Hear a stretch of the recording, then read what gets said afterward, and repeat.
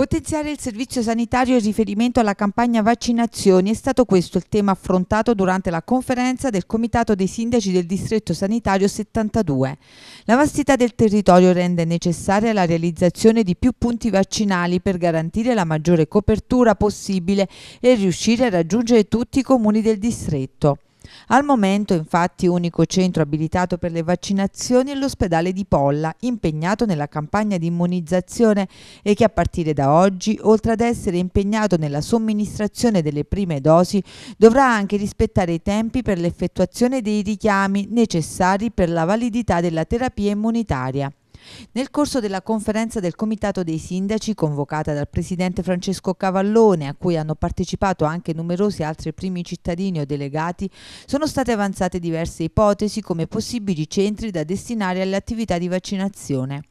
Al momento la più probabile e che potrà essere attivata nell'immediatezza è Teggiano, dove è presente il centro PSAUT e dove potranno essere svolte le attività di vaccinazioni.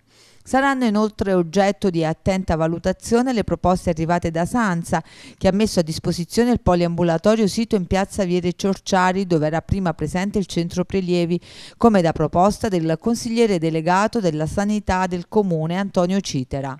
Da Padula per l'istituzione del centro vaccinale presso l'ex clinica Fischetti o Sant'Arsenio presso la sede del distretto.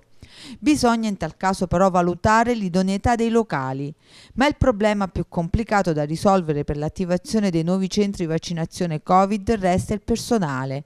Per poter infatti rendere operativa una nuova postazione da destinare alla somministrazione della vaccinoterapia contro il Covid, è necessario poter contare sulla presenza di medici, farmacisti, anestesisti, infermieri, OS, che dovranno essere individuati per l'assegnazione presso i nuovi punti vaccinali, fermo restando che non potranno essere spostati dall'attuale unica postazione di Polla.